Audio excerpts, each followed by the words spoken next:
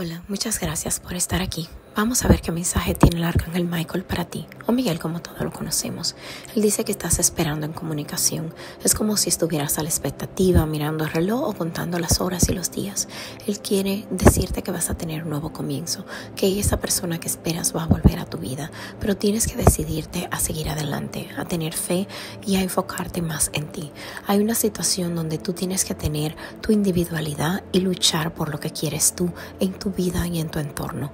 Trata de no dejar que las situaciones emocionales te roben lo demás de tu vida. También ten fe porque yo te voy a ayudar, dice el arcángel.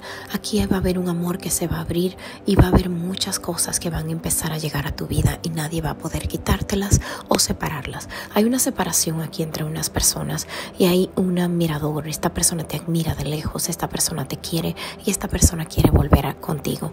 Hay unos obstáculos que han sucedido y también tú te has sentido como que alguien te ha dado mala suerte, te han atacado energéticamente. El arcángel quiere que tú sepas que Él te está defendiendo, que tu vida va a cambiar para mejor, que tu vida va a empezar a mejorar, que tú vas a tener mucha felicidad y también tú tienes un gran amigo que te protege y es poderoso.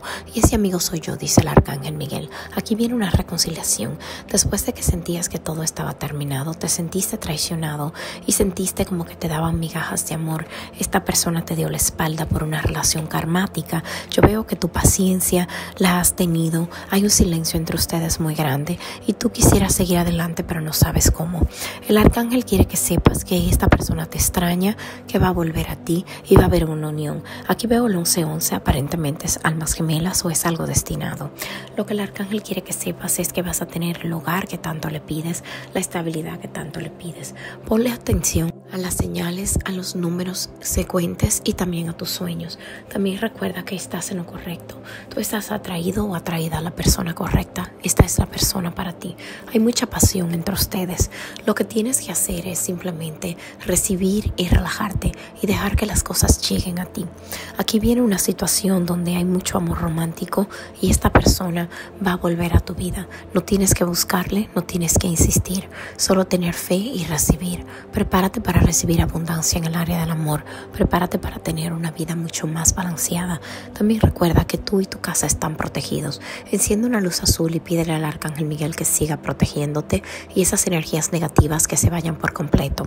También hay una situación donde tienes que seguir cada viernes, haz esto, darle las gracias, enciende una luz y también entrégale tus días, porque Él va a seguir limpiando tu energía, luchando por ti y ayudándote a que tú te superes en todas áreas de tu vida.